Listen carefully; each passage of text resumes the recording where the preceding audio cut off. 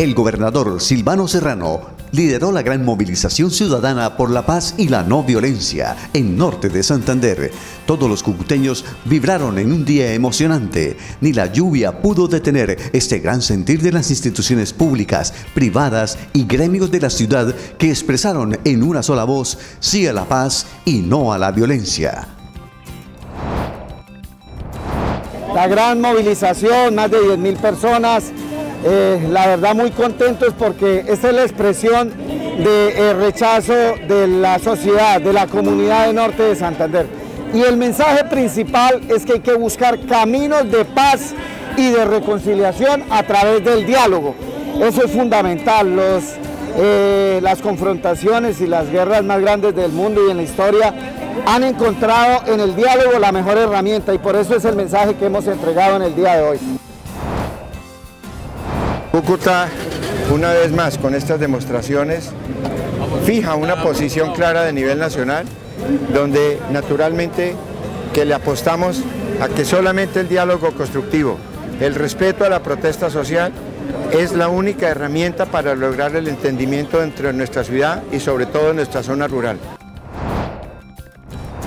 Desde el Consejo de Cúcuta se, se hizo extensiva la invitación a participar en esta gran marcha por la paz, donde se unen todos los actores sociales del municipio de San José de Cúcuta y que hoy demostrado que los buenos somos más. En ese sentido, vamos a avanzar en seguir construyendo esa sociedad que queremos para lograr y anhelar esa paz que tanto anhelamos.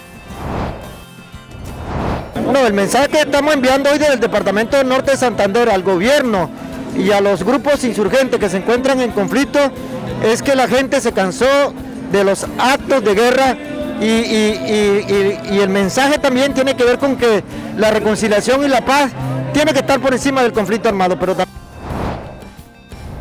Creo que el norte de Santander es un ejemplo, maravilloso y esperemos que entren todos en la sensatez, en la pertinencia de poder convivir en paz y soñar con que nuestros hijos tengan un verdadero mundo para crecer, para el desarrollo sostenible y para pensar entre todos que esto que está pasando en el mundo, además del cambio climático, esa gran crisis climática y todo lo que ha sucedido en violencia, con la pandemia que estamos ya, gracias a Dios y la Virgen saliendo de ella, no tenemos nada diferente a qué pensar, sino la oportunidad de soñar con un mundo en paz, con convivencia y una rotunda, rotunda negativa a la violencia.